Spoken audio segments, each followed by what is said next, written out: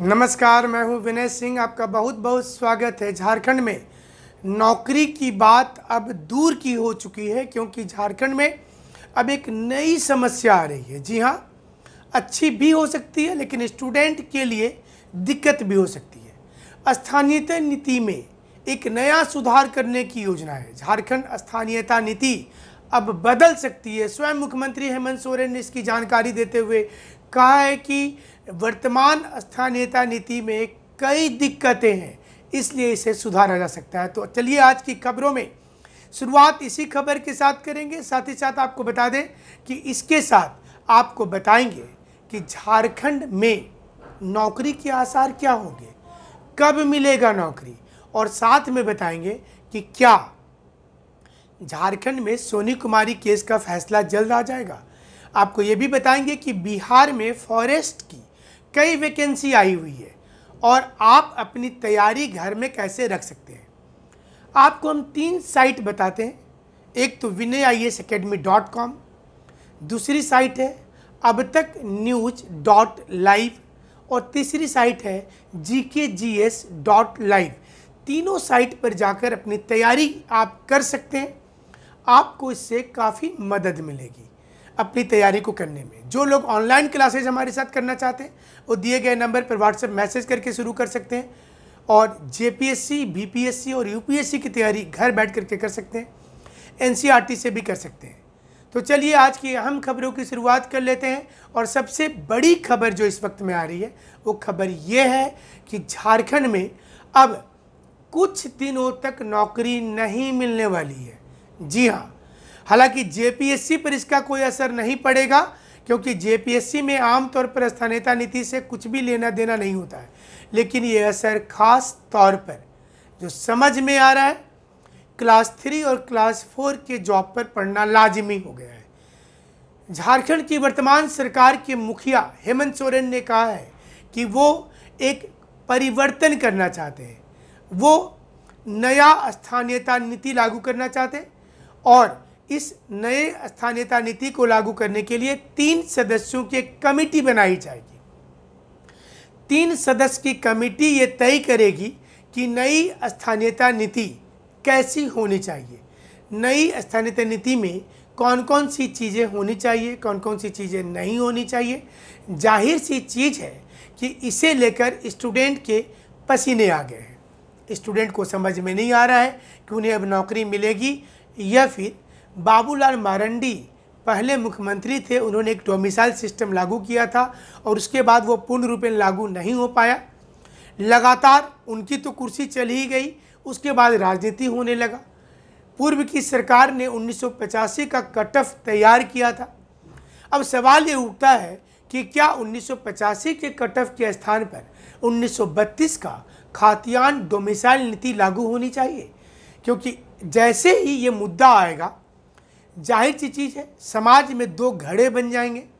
एक पक्ष में बोलेगा, दूसरा विपक्ष में बोलेगा, कई लोगों का मैसेज देख रहे और यहाँ पर ये बता दें कि इससे सवाल सामने ये आएगा कि आने वाले समय में क्या नौकरी मिल जाएगी। वर्तमान जो, इस समय में जो सरकार के पास जो जो हम तक जो खबर आई है, उसके मुताबिक वर्तमान सरकार ने ये कहा है कि हालाँकि पत्रकारों से बातचीत किया गया था, जिसमें बताया गया कि स्थानीयता नीति परिभाषित जो की गई है, उस पर सवाल है, बहुत से प्रश्न हैं और इसके विरोध में लोगों ने आंदोलन किया था। इसलिए स्थानीयता नीति में बदलाव हो सकता है, समीक्षा हो सकता है और आगे देखा जाएगा कि इसमें किस क्या क्या बदलाव ज़रूरी है। हम आपको पूरी स्थिति बताएँगे, ऐसा क्यों बोला गया? क्या इसके पीछे की रणनीति है? तीन सदस्य का कमेटी बनाया जाएगा। तीन सदस्य मिलकर के तय करेंगे कि ये स्थानीयता नीति सही है, ये गलत है। वर्तमान नीति की समीक्षा हो रही है। तकनीकी पहलू पर विचार किया जाएगा और सरकार के निर्देश के बाद कार्मिक विभाग की ओर से स्थानीयता नीति के लिए जो कमेटी बनेगी, वह बताएगी कि कहाँ कहाँ परिवर्तन हो सकता है। 1932 के खातियान की अगर बात की जाए तो झारखंड मुक्ति मोर्चा के एजेंडे में ये रहा है, शुरू से रहा है और इसे लागू करना उनकी एक उनकी हो सकती है कि उन्होंने बोला था इसे लागू करेंगे। जो कमेटी बनाएँगे उसमें अपर मुख्य सचिव स्तर के अधिकारी होंगे। कार्मिक विभाग द्वारा सीएमओ से ही अधिकारी का नाम भी मांगा गया है इस समय में और वर्तमान स्थानीयता नीति जो 18 अप्रैल 2016 को बनाया गया था रघुवर दास सरकार की तरफ़ से, जिसमें 1985 को कट ऑफ़ डेट माना गया था। झारखंड में 1985 के पहले रहने वाले लोगों को स्थानीय माना गया है। इसी के अनुरूप तृतीय और चतुर्थ वर्ग में नियुक्ति का प्राथमिकता देने का प्रावधान किया गया है।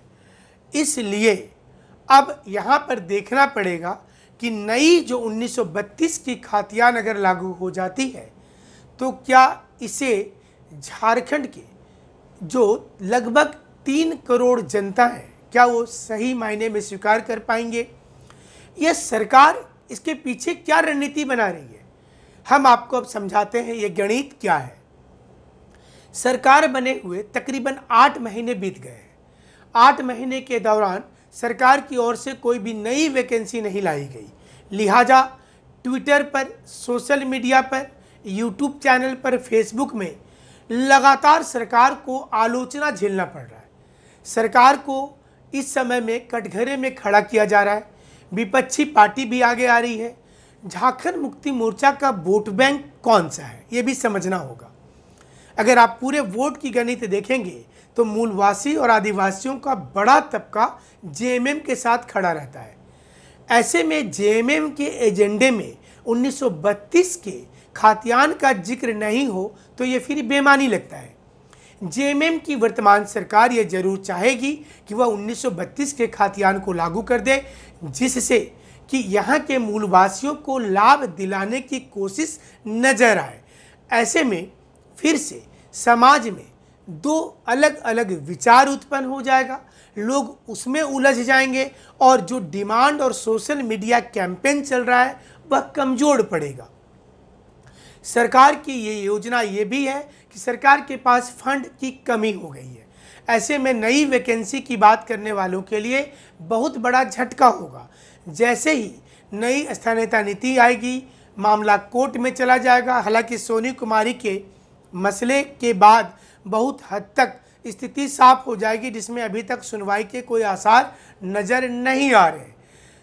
झारखंड में यही तो रोना है।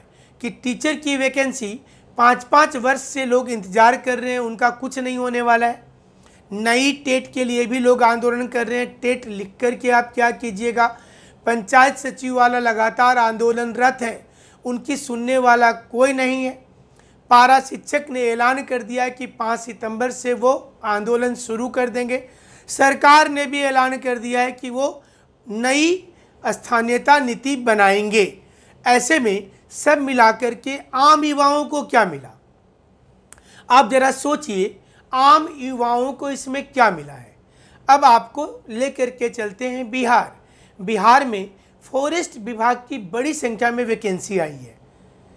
झारखंड में फॉरेस्ट गार्ड की कोई वैकेंसी का कोई नामो निशान अभी नहीं दिख रहा है, लेकिन बिहार में तकरीबन 500 पदों के लिए वैकेंसी निकाली गई है। अधिक जानकारी के लिए आप अब तक न्यूज़ डॉट लाइव पर जाकर के आप पूरी चीज़ों को देख सकते हैं। सवाल ये भी सामने आ रहा है कि क्या झारखंड में वैकेंसी का इसी प्रकार से दिक्कत होगा या फिर इसमें सुधार हो सकता है? सुधार होगा तो कैसे होगा? कौन करेगा? ऐसी कई सवाल हैं जो जनता के जेहन में होंगी। जनता जिसे इस समय में मांगती होगी उत्तर हमने आपको पिछले एपिसोड में बताया था कि विधायक सांसद के पास कई चिट्ठी भेजी गई है। लोगों ने जाकर के चिट्ठी सबमिट किया है। उनसे आशा है कि वो सारी चीज़ों पर विचार करेंगे। लेकिन यहाँ पर नौकरी की वैकेंसी आएगी, इसके लिए विचार नहीं होगा। अब वैकेंसी अभी फ़िलहाल अब आने वाली नहीं दिखती है। हाल के दिनों में एक न्यूज़ वायरल हुआ था। और इस वक्त इस न्यूज़ को बताने का है। हाल के समय में एक न्यूज़ वायरल हुआ था और उसमें तस्वीर दिखाकर बताया गया था कि ये सरकार में आगामी तीन साल तक कोई वैकेंसी नहीं आने वाली है। हमने सबसे पहले बताया था कि ये फर्जी खबर है, वायरल होने वाली तस्वीर गलत है। 11 घंटे के बाद मुख्यमंत्री का ट्वीट आया।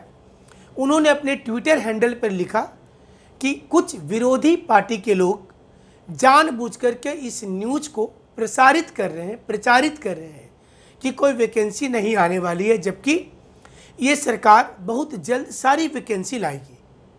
ज़ाहिर सी चीज़ है, लोगों को उम्मीद जग गई, लेकिन मीडिया से बात करते हुए सरकार के मुखिया ने जिस रूप में कहा कि नई स्थानीयता नीति आएगी, इससे लगता है कि कमेटी की रिपोर्ट आने में स्थानीयता नीति को एक्सेप्ट करने में, मामला न्यायालय में नहीं जाने में सब मिला करके दो तीन साल फिर से निकल जाएँगे।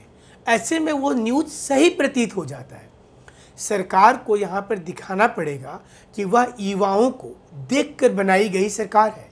युवा उनके साथ खड़े हैं और युवा चाहते हैं कि उनको रोज़गार दे दिया जाए। गवर्नमेंट की मंशा क्या है? ये सरकार को स्पष्ट करना चाहिए। क्योंकि इस प्रकार की खबर से सरकार की छवि को नुकसान पहुँचता है। सरकार की छवि जो जनता में अच्छी थी, तभी तो नए सरकार को चुना गया था। इसलिए हम उम्मीद करते हैं कि सरकार बहुत जल्द अपना स्टैंड क्लियर कर देगी और ये बताएगी कि वह युवाओं के लिए वैकेंसी लेकर के आ रही है। जेपीएससी की वैकेंसी खबरों के मुताबिक सितंबर में आ जाएगी। जेपीएससी में किसी प्रकार का कोई स्थानीयता नीति लागू नहीं होगा। हमारे साथ आप ऐसे जुड़े रहेंगे, जो खबर काम की होगी, आपके लिए होगी, वो ज़रूर बताई जाएगी। जो लोग जेपीएससी की तैयारी कर रहे हैं, हम उनको बता दें कि वो नोट्स बनाने की प्रैक्टिस ज़रूर करेंगे, फ्लो चार्ट ज़रूर बनाएँगे, क्योंकि बिना फ्लो चार्ट का अब मार्क्स नहीं आता है। अगर आप यूपीएससी की तैयारी कर रहे हैं तो और अच्छी बात है, क्योंकि यूपीएससी की तैयारी करते हुए जेपीएससी और बीपीएससी को निकालना आसान हो जाता है। सिर्फ़ आपको स्टेट के लिए एक्स्ट्रा पढ़ना पड़ता है। तैयारी कैसे करें, इसके लिए कई वीडियो हमारे प्ले में दिया हुआ है। आप ज़रूर से देखेंगे और ये भी ज़रूर से देखेंगे कि आप एन e को ज़रूर पढ़िए, घर में पढ़िए, तैयारी कीजिए। किसी दूसरे के साथ भी अगर तैयारी कर रहे हैं तो बहुत अच्छी बात है। हमारे साथ भी करना चाहते हैं तो जुड़ करके कर सकते हैं। हमारा नंबर नीचे मैसेज बॉक्स में दिख रहा है। हमसे जुड़ने के लिए आप सभी का शुक्रिया। धन्यवाद।